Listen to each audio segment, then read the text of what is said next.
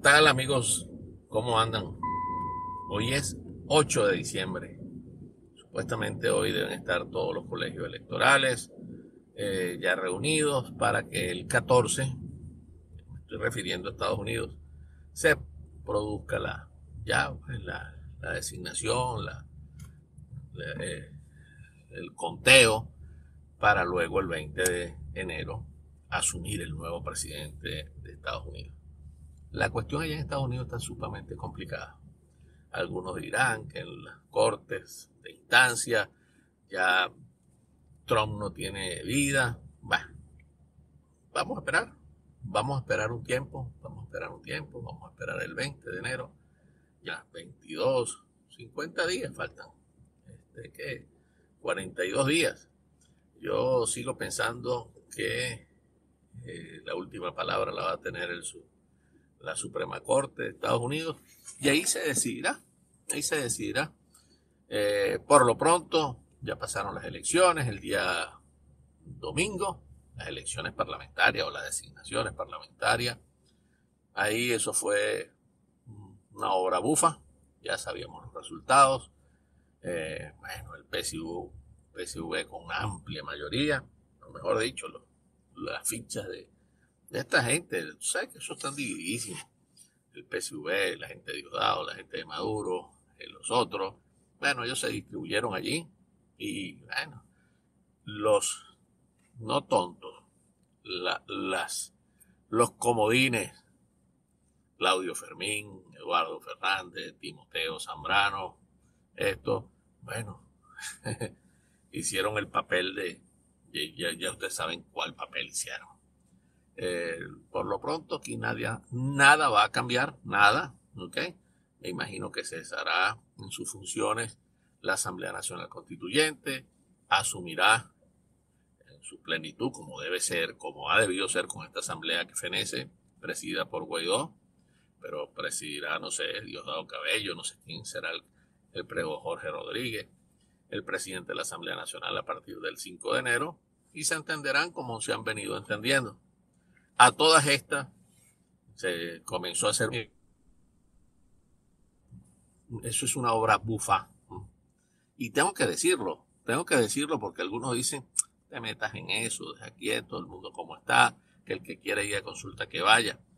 Pero tengo que decir, porque yo estoy involucrado en la política, he opinado yo no sé cuántas veces de política, he estado preso por la política y he sido perseguido, tengo prohibición de salida del país por la política y no voy a, a, pasar agachado en este momento tan, tan importante para la vida venezolana. Obra bufa, que nadie votó, ¿ok? No sé a cuánto llegó el 10%, dicen que ni siquiera llegó el 10%. Ahora viene la consulta. Mire, mano, y esto no se lo voy a decir a los vivos, a los, a los que han utilizado a la gente para sus negocios y para cohabitar. Se lo digo a esas personas que de manera cándida, de manera eh, de, buena, de buena fe, ¿ok?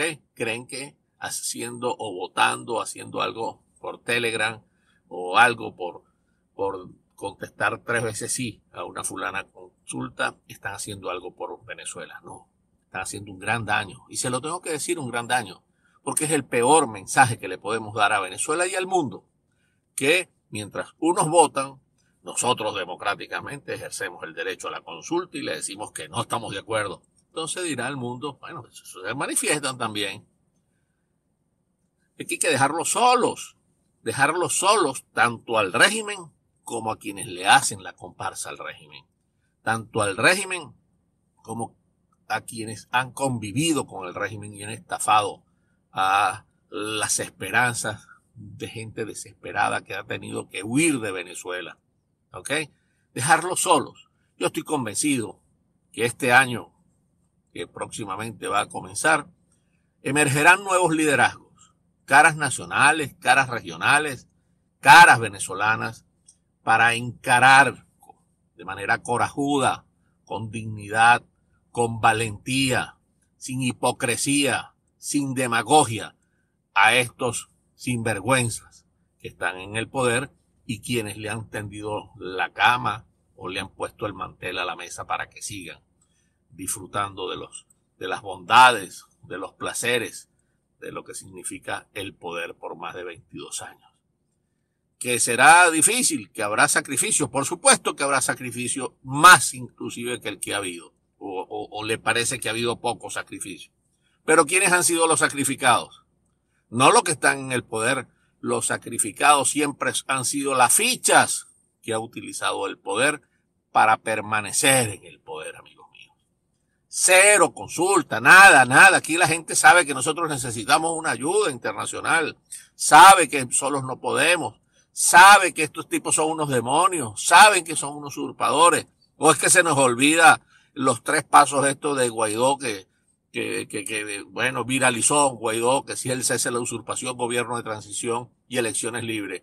Ya no se habla del cese de la usurpación, al contrario, sale Leopoldo, que es el, el sparring o el coach de, de, de, Guaidó diciendo que él no tiene ningún problema con presentarse con, con, con Maduro en unas elecciones. ¿Quién es él, chico? Él se fue tranquilo, bien, que se fue, que se haya ido. Se le respeta que se haya ido. Pero no es nadie para estar diciendo que si Maduro no. No, señor, Maduro está solicitado por delitos de lesa humanidad. Aquí pendiente, ok, ahora el primero que salió a reconocer fue Leopoldo, tal y qué sé yo, y esa camarilla de socialistas a Biden. Ojalá, ojalá la Suprema Corte de Justicia le dé la razón a Trump para ver dónde, en qué albañal, en qué alcantarilla se van a meter esta gente que salió a felicitar a Biden cuando fue Donald Trump el primero que le dio el reconocimiento y gracias a él casi 60 países lo reconocieron de seguida.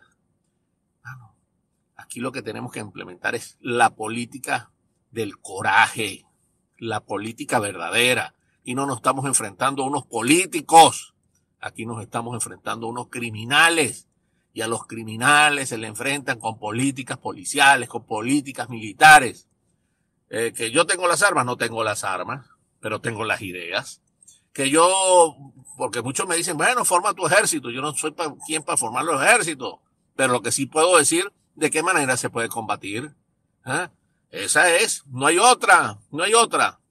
Si usted está en una situación de rehén y está apuntado y dentro de los suyos hay algunos infiltrados, usted tiene que barrer a esa gente, depurar, dividir, que es la palabra que ellos muchas veces usan. No divida. Yo sí quiero dividir a esa paja mala. Yo sí quiero dividir a esa basura. Quiero dividir, sacar esa basura que tanto daño le ha hecho a la oposición venezolana.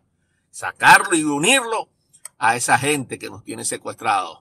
Y por supuesto, buscar las herramientas necesarias para poder disminuir, rebajar, anular neutralizar a esos secuestradores.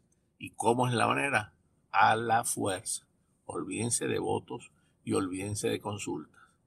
Usted le va a preguntar, ¿qué es lo que está pretendiendo esta consulta?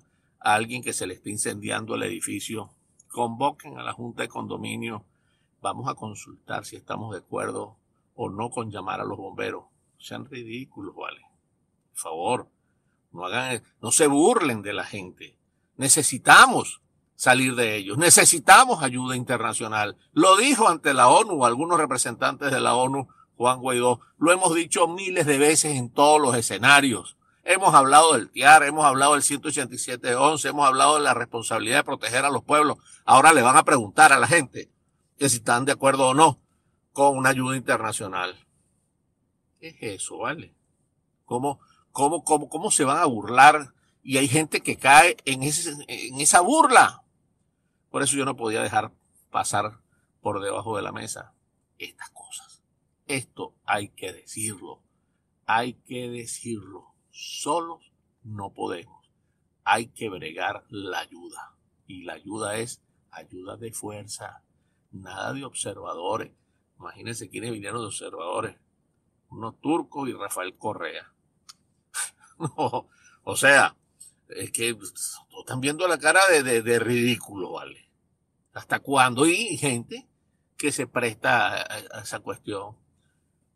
Eh, no sé cuántas personas irán a poner ahí los números, cuántas personas votaron en esa consulta, ni sé tampoco cuántas personas van a poner allí que votaron en, esa, e, e, en esas elecciones de ellos. No nos importa, a mí lo que me importa es es lo que veo en la calle, el sufrimiento de la gente, las dificultades, cómo quiebran las empresas, cómo piensa la gente en irse. Está pensando en irse muchísima más gente de la que se ha ido, para que sepan. Así que bueno, apretado abrazo para todos ustedes, amigos míos, y continuamos conversando.